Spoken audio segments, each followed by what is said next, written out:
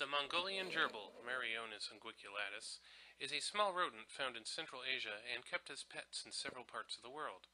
They are also known as Mongolian jirds. These gerbils are distinguished from other members of the mouse family Muridae by their large eyes and well-furred tails.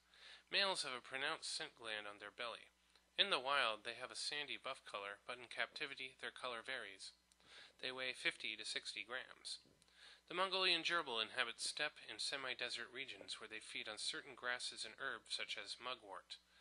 In captivity, there are seed-based diets available for gerbils. In the wild, these gerbils breed from February until October.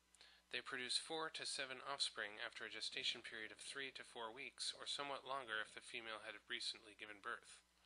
They are, they are ready to reproduce at five to seven weeks of age. The Mongolian gerbil is listed as least concern by the IUCN. They have a wide distribution with no major threats. They are the most popular gerbil species in the pet trade.